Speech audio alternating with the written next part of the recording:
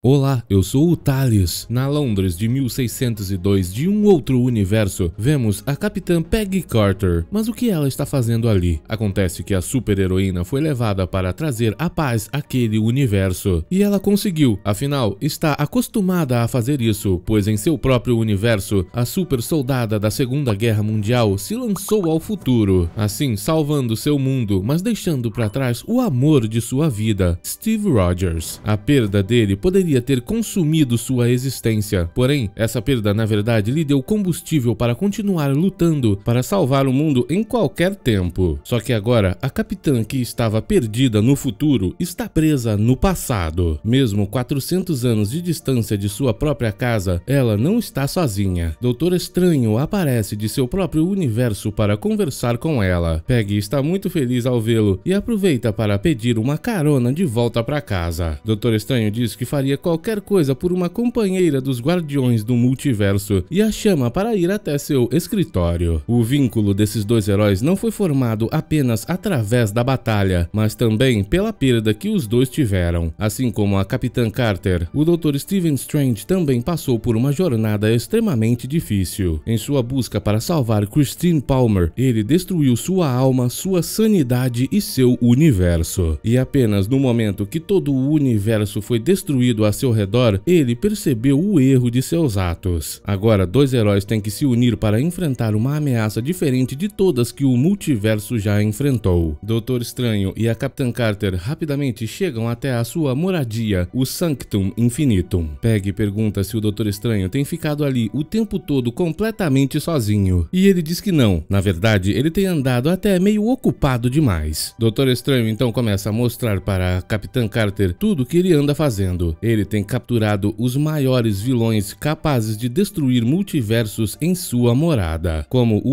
Ultron Infinito, o Thanos, o Loki e diversos outros seres de poder incalculável. Esses seres todos estavam determinados a destruir seus universos. Doutor Estranho diz que alguém tinha que fazer isso. Eles sabem que o Vigia nunca se rebaixaria a ponto de intervir, e por causa disso o Doutor Estranho vem salvando o multiverso um universo de cada vez. Eles sabia que a Capitã Carter iria entendê-lo e diz que na verdade precisa da ajuda dela com uma coisa. Capitã Carter diz que quer voltar para casa, mas logo percebe a verdade. Doutor Estranho deixou alguém escapar e precisa da ajuda dela. Isso é algo muito comum, já aconteceu em diversos filmes como os Gremlins, Aliens e Jurassic Park. A Capitã diz que se você junta coisas perigosas o suficiente, algo sempre vai escapar. Mas mesmo assim, ela diz que não vai ajudá-lo, pois pode ouvir o vigia dizendo: Interferir no multiverso é sempre, sempre um grande erro. Doutor Estranho tenta argumentar que o vigia nem sempre está certo. Ele então pergunta para a capitã se foi um erro ela ter salvado o mundo em 1602. Isso a convence, e Doutor Estranho vai mostrar para ela quem é a vilã que ela vai ter que buscar. Ele perdeu o rastro dela naquele lugar que foi um dos poucos lugares que sobrou de seu universo. Peggy então pergunta por que o próprio Doutor Estranho não vai lá buscar essa vilã, mas ele diz que não funcionaria pois ela já o conhece e escaparia antes que ele chegasse perto. A Capitã Carter, ao contrário dele, é desconhecida e poderá se aproximar. Ele então coloca uma magia de proteção na Capitã Carter e diz que vai enviá-la para lá e assim que ela encontrar a vilã, ele teleportará as duas de volta. Além disso, ele mandará a Capitã de volta para seu próprio universo. Ela então começa sua missão. Assim que chega nesse outro mundo, a Capitã fica em choque ao ver o grande monumento do Caveira Vermelha, ao invés dos dos antigos presidentes dos Estados Unidos. O Vigia então aparece e explica o que aconteceu nesse universo. Acontece que ali a bomba do projeto Renascimento causou um estrondo muito maior. Nem a Capitã Carter e Steve Rogers sobreviveram, e sem os dois para impedi-los, a Hydra liberou os poderes do Tesseract, vencendo a guerra e destruindo o mundo no processo. O Vigia então pergunta o que a Capitã Carter está fazendo ali. Ele achou que ela já tivesse aprendido o os perigos de interferir em mundos alheios. A capitã então fala que se ele não vai ajudar, é melhor sair dali. O Doutor Estranho está se envolvendo e ajudando o multiverso, fazendo a diferença. E por causa disso, ela quer ajudá-lo. O Vigia então pede para que ela tome cuidado, pois ele não aguentará narrar as coisas terríveis que podem acontecer. De repente, um flash azul passa por ali e acerta a capitã. Ela se levanta e é acertada mais algumas outras vezes, até que arremessa seu escudo e consegue parar esse flash por um segundo, mas não é o suficiente e logo ela é acertada mais uma vez. Só que agora, Capitã se levanta e arremessa seu escudo mais uma vez, e aquele flash para, segurando o escudo em pleno ar. A mulher que estava por trás daquele flash diz que o Doutor Estranho deve ter pedido a ajuda da Capitã Carter para salvar o multiverso, e a Capitã diz que foi para salvar o multiverso contra ela. A mulher então diz que na verdade ela não é uma destruidora de universos, o Doutor Estranho é quem é. Depois de devolver o escudo escudo, a mulher se apresenta como Kaori e diz que as duas podem se ajudar. Ela não é inimiga da Capitã Carter. O maluco Doutor Estranho está mentindo para ela. De repente, um portal se abre embaixo das duas e elas aparecem na frente do Doutor Estranho. Ele acerta uma rajada de energia diretamente na Kaori e a Capitã Carter fica sem saber o que fazer. Kaori então pergunta para ela se o Doutor Estranho a contou sobre a forja. O mago não quer que a Capitã Carter dê ouvidos a Kaori e a mulher continua falando dizendo que o Doutor Estranho não tem como alvo só os eliminadores de universo. Ele também está reunindo todos os heróis mais honrados. Isso deixa a capitã em choque e ela pergunta o que o doutor está fazendo. Ele não fala, mas a Kaori diz que o homem está alimentando a forja. Desesperada, Kaori grita dizendo que o Doutor Estranho não está tentando salvar universos, ele quer ressuscitar o universo dele. E o próprio doutor fala que não irá deixá-la impedi-lo. A capitã pergunta se ele está tentando trazer a Christine de volta e o doutor estranho diz que sim, e a Peg é a única que deveria entendê-lo. Com certeza ela faria a mesma coisa pelo Steve, mas na verdade, a capitã não faria nada disso pelo Steve, afinal, ele não desejaria que infinitos universos fossem destruídos para que os dois continuassem juntos. O custo é muito alto, mas para o Doutor Estranho, esse custo é um preço pequeno a se pagar. Ele então continua o ataque, enquanto a capitã implora para que ele não faça isso. Ela não pode impedi-lo, mas olha para o teto daquele naquele local e tem uma ideia. A capitã então liberta todos os supervilões que o Doutor Estranho capturou e chama a Kaori para ir destruir essa forja. As duas saem dali em alta velocidade e vemos uma cena impressionante com diversos personagens que nunca apareceram em nenhum filme e nem nessa mesma série da Marvel. Doutor Estranho ficará muito ocupado com todos esses destruidores de universo, afinal um motim desses prisioneiros não é algo fácil de se lidar. A Capitã e a Kaori então chegam até um local onde escutam escutam um barulho diferente. Na frente delas está a feiticeira escarlate zumbi e ela não está sozinha, está com seu exército de zumbis. Um embate então começa. A Kaori parte para cima da feiticeira, enquanto a Peg dá um jeito nos zumbis. Antes que o problema se estendesse muito, a Kaori teleportou a feiticeira para outro universo. As duas então estavam se preparando para lutar contra todos aqueles zumbis, até que de repente uma luz verde apareceu e eles pararam de atacar. Não foi a Kaori que os deteve, e sim a Hela. Por ser a deusa da morte e todos aqueles zumbis estarem sem vida, eles obedecem a ela. A deusa, entretanto, também quer que Kaori e a Capitã Carter se ajoelhem perante ela, mas como elas não irão fazer isso, a deusa começa um ataque, mas a Kaori lida com ela com facilidade, até que de repente, o grande destruidor de Asgard aparece naquele local e a Hela parte para cima dele. Doutor Estranho também está se aproximando e a Kaori está correndo dali com a Capitã Carter Carter, até que Thanos, junto da manopla do infinito, aparece na frente das duas. Elas ficam em choque e não sabem direito o que vão fazer, até que de repente alguém estala os dedos e Thanos simplesmente deixa de existir. Quem fez isso foi o Killmonger, que estava com as joias e a armadura do infinito. E agora, como elas vão derrotá-lo? É muito mais simples do que parece. A Kaori simplesmente o teleporta para fora da armadura. A capitã então pega essa armadura para combater o Doutor Estranho. Ela ela agora está muito mais poderosa e isso deve equilibrar o jogo. De repente, o Doutor Estranho começa a ligar a forja e as duas têm que correr. Doutor Estranho aparece e as duas partem para cima dele. O combate parece equilibrado e ele tem que liberar cada vez mais poder para combater as duas. Essa gigantesca cobra roxa aparece, mas elas conseguem combatê-la com facilidade. O poder das duas juntas é extremamente poderoso e enquanto Kaori distraía o Doutor Estranho, Capitã tentou destruir a forja mas ele partiu para cima dela para impedi-la. Durante todo esse combate, percebemos que a Capitã Carter, por algum motivo, não utiliza todas as joias ao mesmo tempo. Mas como está super poderosa e ainda está junto da Kaori, que tem parte do poder do Tesseract, elas conseguem combater o Doutor Estranho, até que ele perde a paciência e faz diversas cópias de si mesmo. A Capitã gosta da ideia e também copia ela mesma. A batalha aumenta ainda mais de tamanho, até que uma hora a Capitã manda seus clones para cima cima do Doutor Estranho e ele simplesmente os apaga, fazendo-os serem transformados em borboletas. De repente, a Capitã Carter acorda lá no dia que ela foi transformada em um super soldado. Ela fica em choque ao ver seu amado Steve Rogers e pensa que talvez nunca tivesse saído daquele local. Steve diz que eles podem finalmente ficar juntos para sempre, mas a Capitã vê uma borboleta e percebe que aquilo não era verdade. O Doutor Estranho é quem estava na frente dela e a mulher o combate combate. Eles voltam para onde estavam e dessa vez Doutor Estranho perde a paciência de vez e teleporta todos os vilões e heróis para dentro da forja. Ele vai utilizar a todos como combustível, mas a Kaori não vai deixar. Ela utiliza seus poderes para impedir a queda de todos e depois abre portais para enviá-los de volta para seus universos. Doutor Estranho então tenta combatê-la e a Capitã Carter tenta defendê-la, mas não é o suficiente. A Kaori perdeu a concentração e deixou todos caírem. Sem outra escolha, Peg utilizou a joia do tempo para parar a todos e depois mandá-los de volta lá para cima. Doutor Estranho, entretanto, diz que dominou esse tipo de truque há muito tempo e começa a combater tempo com tempo. Ele então parte para cima da capitã e diz que não há o que fazer, ele vai ressuscitar sua amada. Ele então faz todos caírem para dentro da forja enquanto combate a Kaori e a Capitã Carter ao mesmo tempo. Ele vai ressuscitar seu mundo, não importa quantos outros tenham que ser destruídos. De repente, Hela, que estava caindo, arremessa sua coroa para a capitã. Thor arremessa seu martelo e diversos outros heróis arremessam seus objetos letais para elas. Agora, a capitã e a Kaori têm poder suficiente para combater o Doutor Estranho e a Kaori envia a todos de volta para seus universos. As duas então se preparam para o combate de verdade. Nessa forma, a Capitã Carter é a heroína mais poderosa do multiverso. O combate é extremamente impressionante, mas parece que o Doutor Estranho não não tem chances contra elas, e do nada algo dentro dele começa a tomar o controle de seu corpo e o homem se transforma em um grande monstro. Nessa forma, ele consegue bater de frente contra as duas heroínas. Nem mesmo a lança de Odin pode feri-lo. O monstro também destrói com facilidade o martelo do Thor. Ele vai trazer sua amada de volta à vida e não há o que as duas possam fazer contra isso. Com um ataque, ele separa a Capitã Carter das joias do infinito, mas Kaori tem uma ideia. Ela manda a capitã